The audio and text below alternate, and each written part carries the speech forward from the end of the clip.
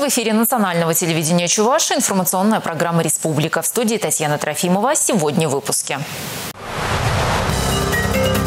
140 стран, 12 тысяч участников. В Санкт-Петербурге стартовал Международный экономический форум. Там работает делегация из Чувашии. Трудовое лето. Куда могут устроиться школьники на каникулах? 550-летию столицы в парке Амазония на якорь встала ладья.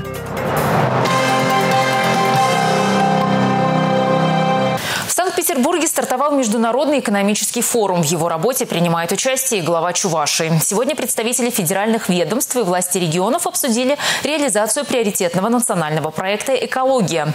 В северной столице работают и мои коллеги Дмитрий Ковалев и Андрей Спиридонов центре внимания мусорная реформа. В большинстве субъектов России буквально за полгода создали территориальные схемы обращения с отходами. К работе приступили и региональные операторы. Как сделать страну чище, обсуждали на полях международного форума в экспоцентре северной столицы.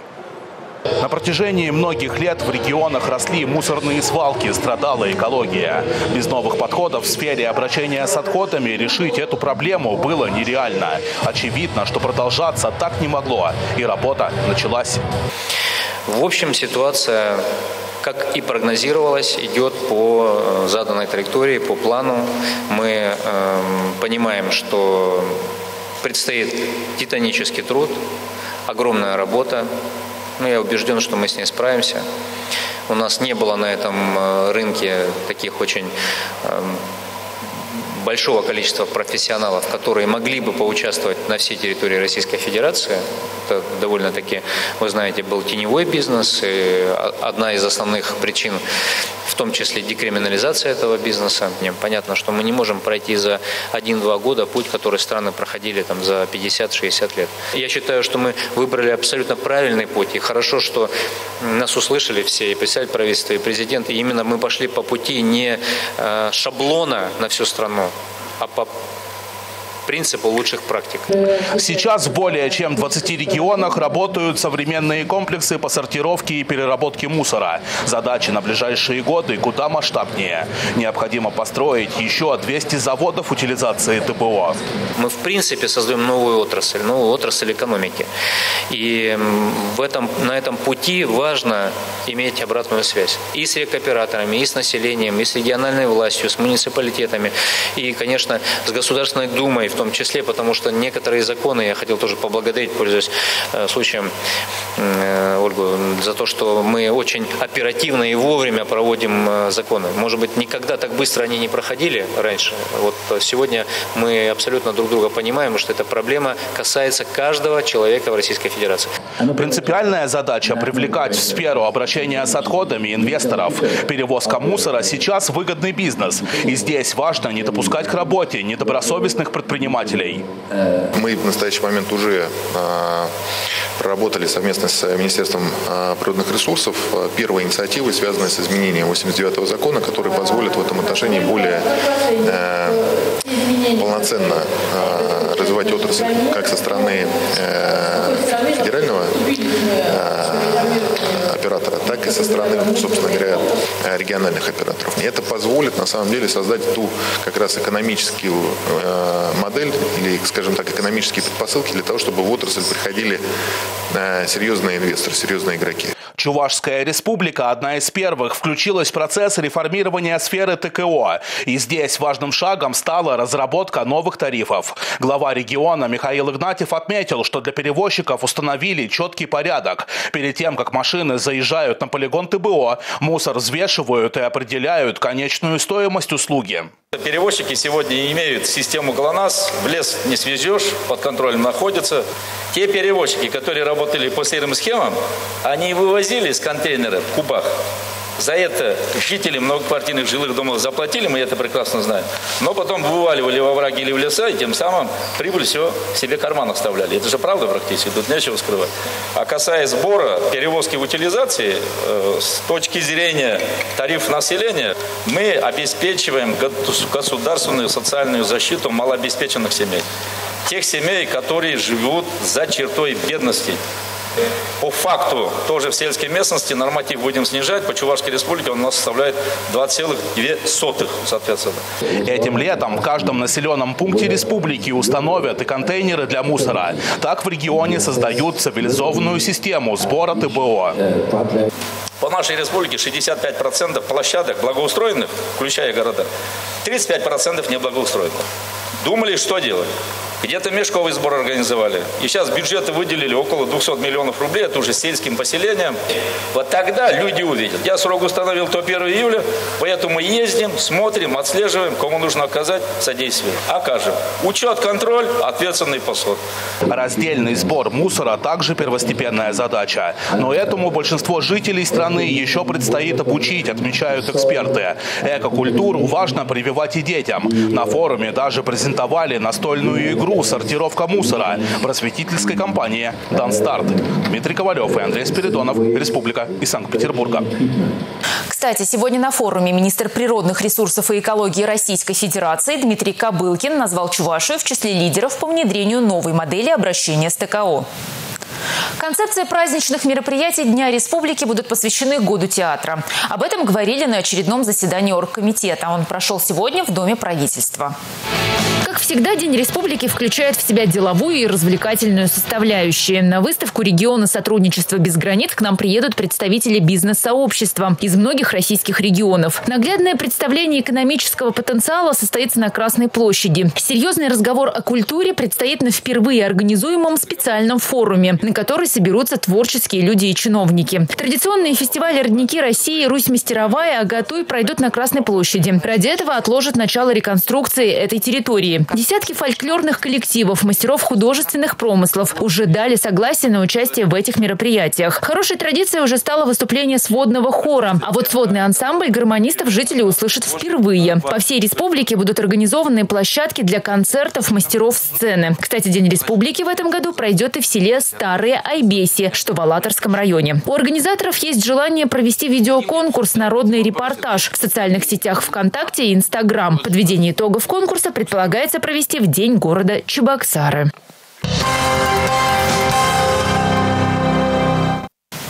Пол восьмого утра сегодня в Чебоксарах загорелось общежитие. Из девятиэтажки по проспекту 9 пятилетки эвакуировали 50 человек.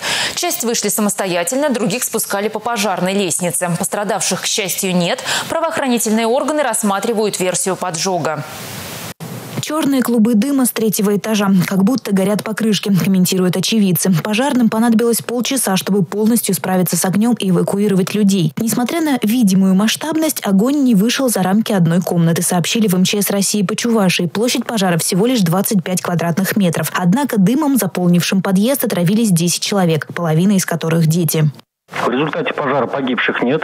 После полной ликвидации пожара э, за скорой помощью обратилось 10 человек. Э, 7 человек из них госпитализировано, в том числе пятеро детей. Их жизни ничего не угрожает.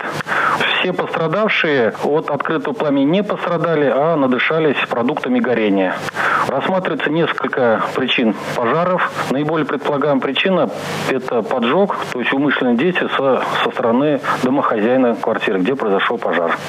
Сейчас выясняют точную причину. Если версия поджога подтвердится, дело передадут в полицию. Чебоксарах вынесли приговор 33-летнему местному жителю за организацию игорного бизнеса. Незаконное дело принесло ему доход в 460 тысяч рублей. В ноябре прошлого года он организовал деятельность закрытого игорного клуба, который находился в помещениях вначале в северо-западном, а затем в юго-западном районах столицы республики. Там он проводил азартные игры среди ограниченного круга постоянных посетителей. Он набрал для этих целей соответствующий персонал, а также оборудовал салон необходимым оборудованием. В феврале этого года указанные противоправные действия были пресечены сотрудниками управления ФСБ России по Чувашской республике во взаимодействии со следователями Следственного комитета. Теперь предприимчивому молодому человеку придется заплатить штраф 450 тысяч рублей.